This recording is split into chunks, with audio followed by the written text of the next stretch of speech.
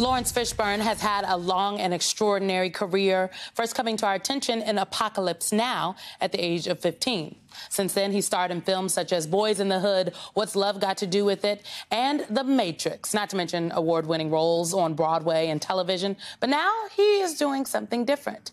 He's written and is performing in a one man show about his own life at the Perelman Arts Center in Lower Manhattan. It's called Like They Do in the Movies. For tonight's keynote, Stephanie sat down with him to talk about the show and why now.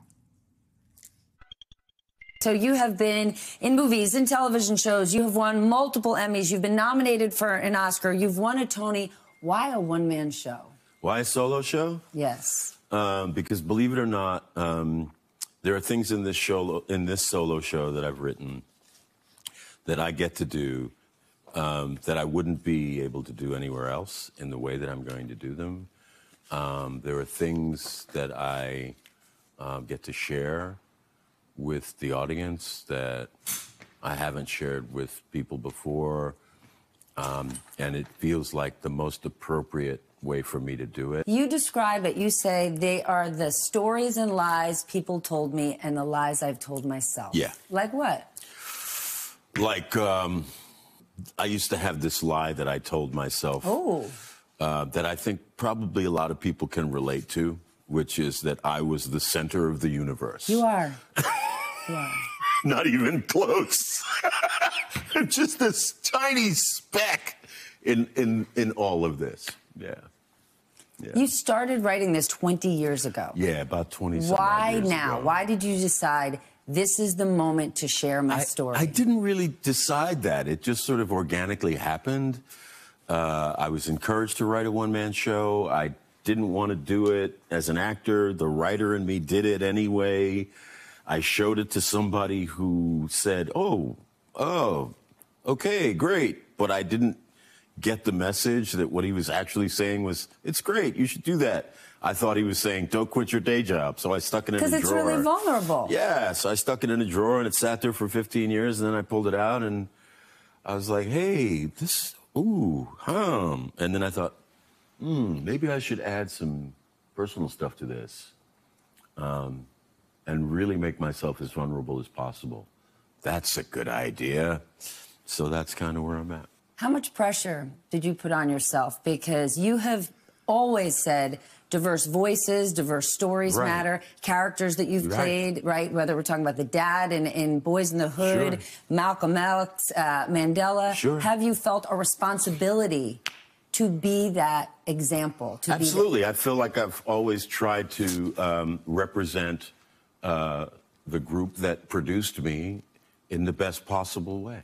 I've tried, I mean, listen, black stories have been a theme of my work, of my life, all my life. I haven't been black half my life. I've been black all my life. And I um, understand this idea that you can't be what you can't see. And so as an actor, I have the opportunity to uh, perform, obviously, to entertain, yes, but also to educate, to inform, to influence, to inspire. And so that's what I've tried to do. You have played heroes, and, and villains. you played villains. Yes. What do you prefer? I I just like to play, honey. I just I'm a player. I like to play. It's not about whether it's heroes or villains.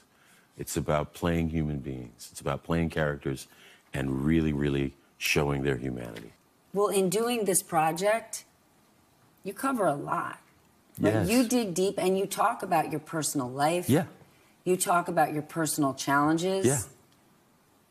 How did you make that decision and why? Because that just standing on a stage for two hours and saying "Love me, audience," that's vulnerable enough. Yeah, but you're is. saying I'm love saying all some, of me, the good, I, the bad, and maybe the ugly. I'm just exposing some things about myself that people would not suspect.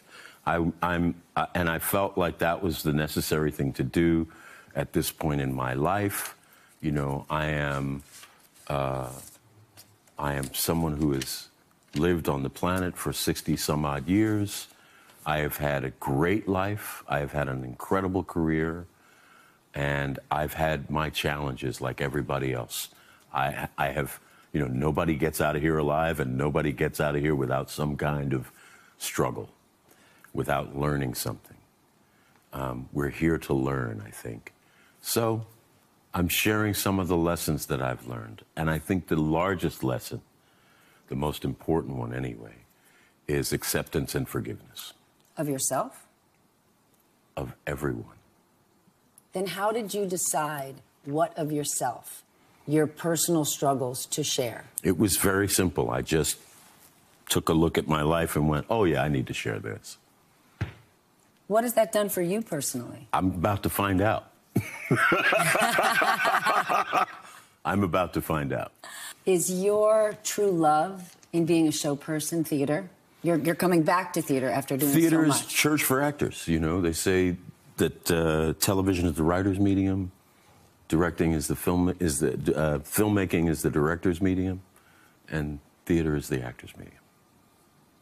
How much so of I'm an at honor? church. How much of an honor for you? Of all the things you've done, how do Yeah. you feel about this project? I'm super excited. I get to be back here in Lower Manhattan, where I started working in the theater as a boy, um, telling my story, um, telling some other stories that people are not really going to expect, um, and hopefully they'll enjoy them.